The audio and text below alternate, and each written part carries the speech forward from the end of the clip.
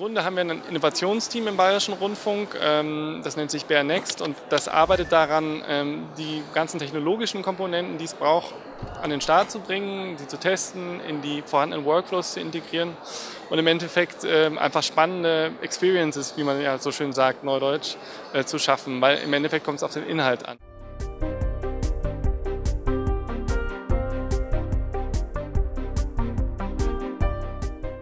Endeffekt äh, möchten wir in allererster Linie mit den Inhalten dorthin gehen, wo die Nutzer sind. Und wenn das auf Facebook ist, dann gehen wir auf Facebook. Wichtig ist, glaube ich, dass viele Nutzer noch gar nicht wahrnehmen, dass spannende Inhalte, die sie rezipieren, tatsächlich vom öffentlich-rechtlichen Rundfunk sind.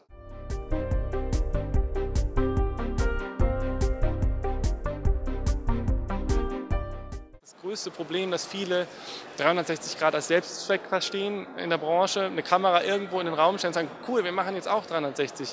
Aber es hat keinen Mehrwert für den Nutzer, im Gegenteil. Äh, und daran müssen wir ganz stark arbeiten.